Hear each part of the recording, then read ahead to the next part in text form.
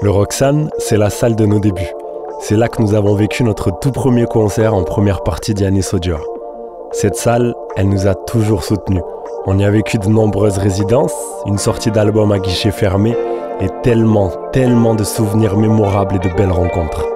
Voilà pourquoi on a hâte de faire vibrer à nouveau ce lieu avec vous le 17 mai prochain. On garde en mémoire l'ambiance incroyable sur les quais de Bergerac l'été dernier et on espère du fond du cœur que ce sera encore plus chaud au Roxane avec vous cette année. Rendez-vous là-bas les amis pour découvrir notre nouvel album en live. On est chaud, on est prêt. Prenez bien soin de vous, prenez soin des autres. À très vite.